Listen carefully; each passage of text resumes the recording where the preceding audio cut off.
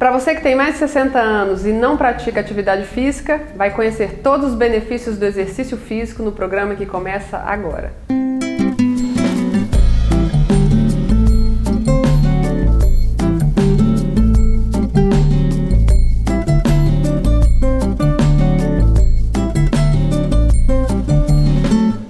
Eu converso agora com a professora doutora em Educação Física, Genide Araújo. Professora, obrigada pela presença. Vamos falar um pouquinho sobre atividade física. De uma forma geral, quando que a pessoa deve iniciar uma atividade física, fazer um exercício? Como que isso é instituído? Na verdade, é, é, um prazer estar aqui podendo falar sobre algo que a gente acredita e gosta muito do que faz. Na verdade, a prática da atividade física ela deve iniciar desde bebê. E isso paulatinamente vai ser agrupado e associado e vai refletir lá na velhice. Na velhice, a partir dos 60 anos, é considerado uma pessoa idosa. Existem atividades que os bebês podem iniciar a, ao gosto dos pais, em especial a natação, porque ela desenvolve vários, vários tem, traz vários benefícios e ainda desenvolve a, a musculatura, a tonicidade, a, a, respiração, a condição cardiorrespiratória desde bebê. E isso vai se conseguindo ao longo do tempo.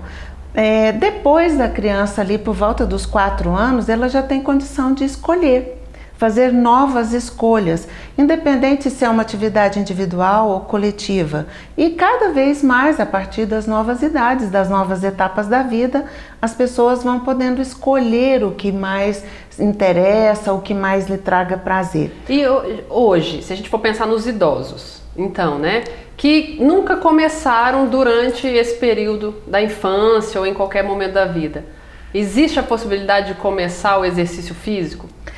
Toda hora é hora de iniciar qualquer atividade onde possa garantir qualidade de vida. Com a, na velhice não existe um momento adequado na vida de uma forma geral, mas na velhice, ah, então quando eu interar 60 anos, 62, 65, 90, não, a qualquer momento é um momento de se iniciar. O que tem que ter cuidado é que tem é, ter uma avaliação clínica, médica, saber escolher é, cuidadosamente as atividades que vão garantir é, é, segurança na execução, a quantidade, a intensidade da atividade, e isso um profissional de educação física poderá acompanhar e personalizar cada uma dessas atividades. E o que, que esse idoso tem que fazer para criar essa coragem?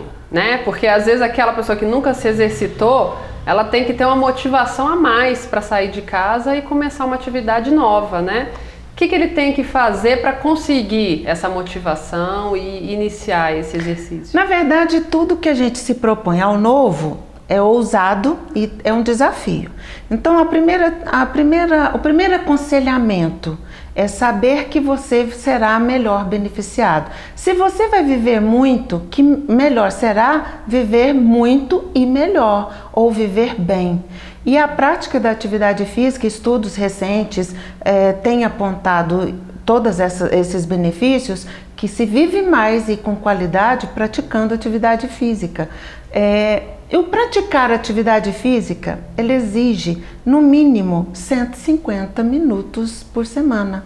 Isso é um dado que a Organização Mundial da Saúde prevê, porque quem pratica atividades físicas regulares no mínimo 150 minutos não é considerado uma pessoa sedentária. E o sedentarismo hoje é uma, uma das doenças que mais mata. E aquele idoso que pensa, né? Às vezes está nos assistindo e vai pensar: mas eu vou à padaria todos os dias, ando dois quarteirões. Eu já faço uma atividade física. Isso pode ser considerado? É uma atividade física, mas lembra que eu disse ela tem que ser regular e contínua. Acho que faltou eu falar a palavra contínua. Ela tem que ser contínua para que o organismo receba todos os benefícios que aquele movimento possa provocar. Existe hoje na literatura uma diferença entre atividade física e exercício físico. Talvez seja esse, é, essa diferenciação que provoque ou que esclareça melhor. O exercício físico tem que ter gasto calórico, tem que ser mais do que o cotidiano, você tem que fazer no mínimo três vezes por semana. Então, são questões muito mais básicas é, nessa conceituação. Atividade física, a priori, você pode entender que é quando você movimenta o braço, quando você diz um tchau, quando você levanta, quando você vai à padaria, mas o exercício físico vai um pouco além disso. E o ideal é que seja uma atividade coletiva, num local apropriado, num clube, na academia, com um profissional da área, para dar um encaminhamento mais mais adequado, mais responsável. Se aquela pessoa está né, disposta a começar uma atividade física, só que é, esse idoso tem um problema no joelho ou um problema na coluna, enfim, algum tipo de alteração né, física, como é que ele pode selecionar qual é o melhor tipo de atividade para que ele procure um profissional? Então, é, atividades de impacto, é, por exemplo, correr, saltar, não são indicadas é, mas não são indicadas para as pessoas que têm problemas. Então, problemas articulares, problemas na coluna, isso o personal ou o profissional da área da educação física tem competência hábil para dizer: olha, este é o melhor encaminhamento para o senhor ou para a senhora. Normalmente, a atividade mais indicada é a hidroginástica. É a hidroginástica ela pode ser praticada por pessoas com diferentes acometimentos. Um diabético, uma pessoa que tem artrose no joelho, no ombro, na coluna, uma pessoa que teve uma recente fratura, uma pessoa hipertensa. Então é, a, a, a hidroginástica abrange diferentes circunstâncias e o idoso ou a idosa poderá participar. Mas é preciso garantir que o idoso tenha tônus muscular, em especial nos membros inferiores. Para isso, o ideal é que seja mesclado hidroginástica e atividade fora da água. Nós vamos falar um pouquinho mais dessa atividade fora da água, de repente para sanar algumas dúvidas né, das pessoas que estão nos assistindo depois do intervalo. A gente vai para um rápido intervalo e volta já já, não saia daí.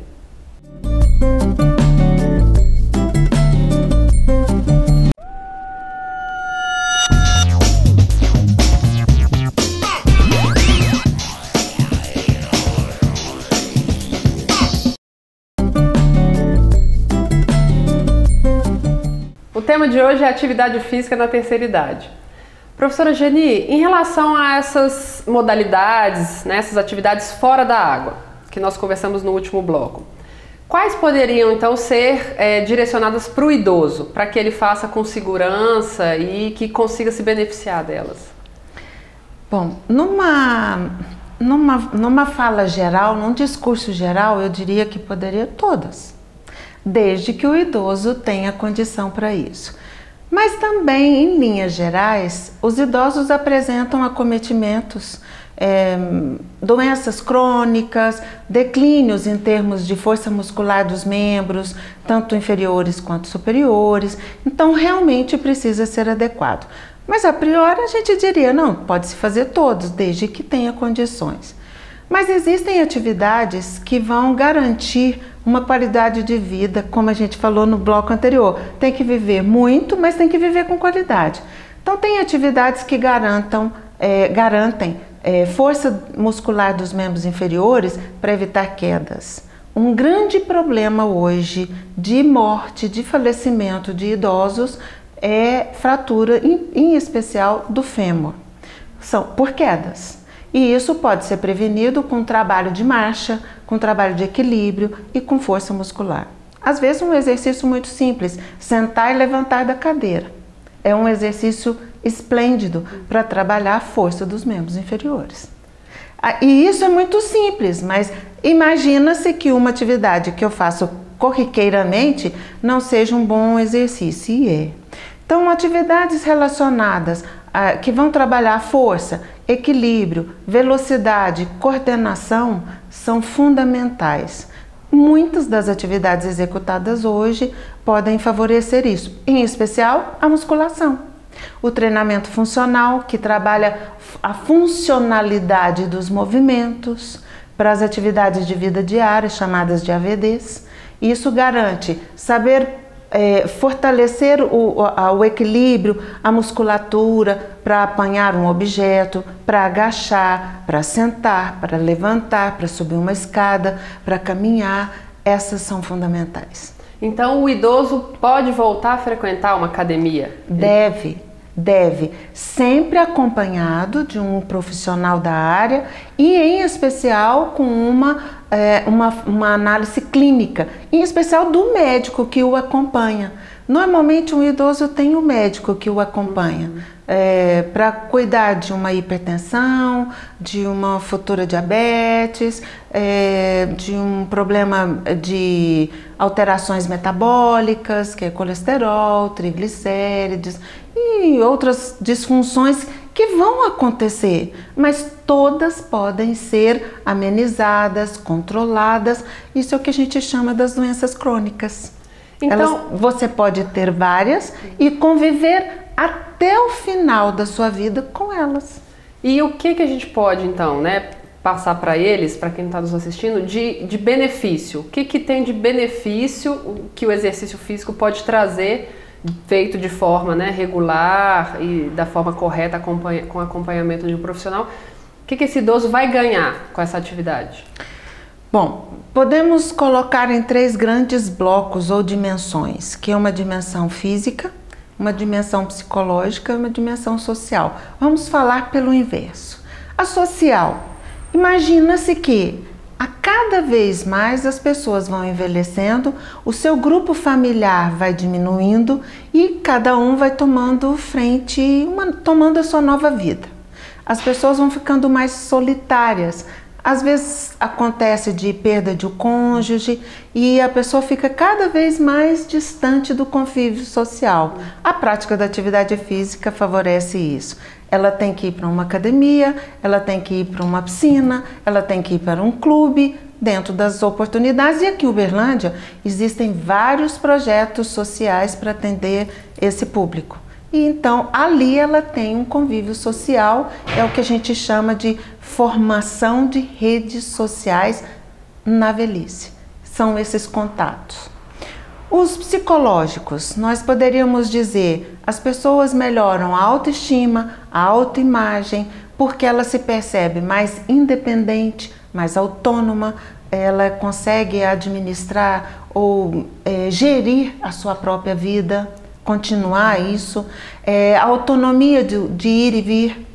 São vários fatores que vão favorecer esse sentimento, digamos, emocional, psicológico e emocional. E aí, chegando na atividade, na, nos benefícios físicos, são vários. Nós poderíamos listar físico em termos corporais, metabólicos e ainda as funções que vão ser alteradas. É, alteradas ou minimizadas, não quer dizer que nada vai, vai praticar atividade física e vai ser curado. Não, mas muitas taxas podem diminuir e se você toma um medicamento, o seu médico vai ser capaz de diminuir as doses se isso for possível. É, melhora os índices, índices glicêmicos, melhora a questão do colesterol ruim e aumenta o colesterol bom, melhora a força, como a gente já disse, a coordenação, que é você andar sem desequilíbrio, o equilíbrio estático e dinâmico, a força do abdômen é, a força na musculatura vertebral que vai dar uma maior sustentação da coluna. Então, realmente Vários são muitos benefícios. benefícios. E a, é, por conta de tantos benefícios, né, e sabendo que tudo isso acontece, por que, que existem ainda idosos que não fazem atividade física, que não procuram? Existe um motivo? Vocês têm como é, quantificar ou qualificar, enfim, quais são os problemas que fazem com que esse idoso ainda prefira estar em casa, quieto, assistindo TV, enfim, parado? Tudo na nossa vida é um hábito. E se você não exercitou esse hábito ao longo da sua vida, quando você chega na velhice, esse hábito não foi incorporado. E se você não incorporou, ele não faz parte da sua dinâmica diária ou dinâmica de vida. Então, a prática da atividade física é um hábito e deve ser executada desde a mais tenra idade, para na velhice você usufruir de todos esses benefícios.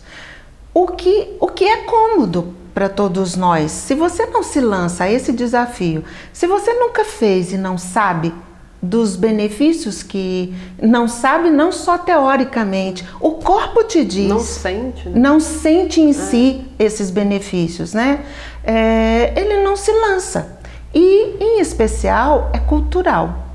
A velhice de hoje não praticou atividade física é, na juventude e vai envelhecer ou já está envelhecida ou continua envelhecendo sem esse hábito. Então ele tem que quebrar uma barreira muito grande, ele tem que eliminar preconceitos e se lançar a esse novo desafio. Mas isso é possível.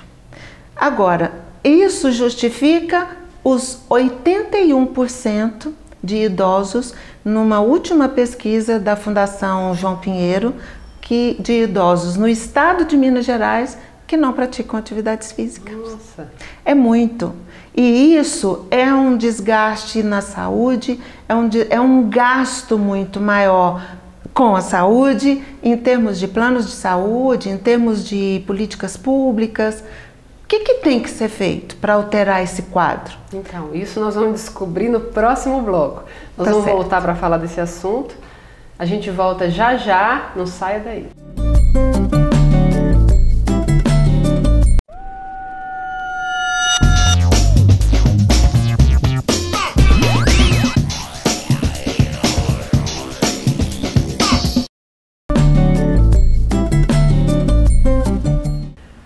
Falando sobre atividade física na terceira idade com a professora doutora Genide Araújo. Professora, em relação então a esse mecanismo de sair da inércia né, e, e começar uma atividade física, que nós deixamos um assunto pendente no, no bloco anterior, é, a família é importante é, para que esse idoso, né, nessa motivação, para que esse idoso saia de casa? Qual é o papel de cada um dentro do ciclo social do idoso para favorecer isso? Bom, a família é importante em todos os aspectos. É, desde qualquer etapa da sua vida, a família é fundamental. É aquela base, a educação da base. E para o idoso e a idosa não é nada diferente. É uma sustentação, é uma motivação que vem do ambiente.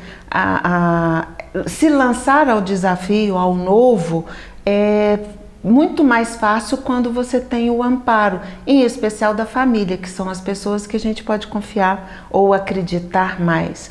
Ela é fundamental e isso tem que ser alterado é, por meio de, inclusive, é, do apoio familiar, de políticas públicas, de incentivo à mídia, incentivando que as pessoas não se escondam da sua velhice, porque a visibilidade da velhice ela é atual.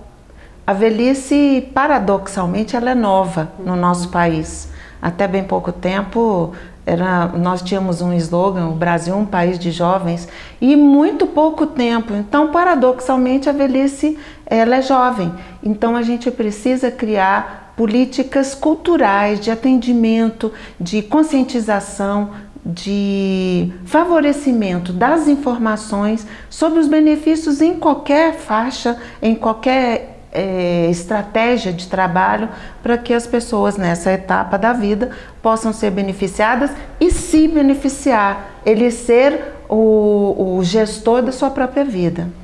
E quando a gente pensa naquele idoso que está é, numa instituição de longa permanência, né? Que de repente ele precisa estar naquele ambiente e ele depende do que é, é do que do que chega para ele ali, né? Do que acontece ali para ele. Como é que funciona esse aspecto da atividade física, desse cuidado com os benefícios que o exercício pode trazer para esse é, idoso? Normalmente, é, nessas instituições, os idosos já estão bastante debilitados. Então, é, existe um pouco de dificuldade na, na, execução, mas não é, não é impeditivo.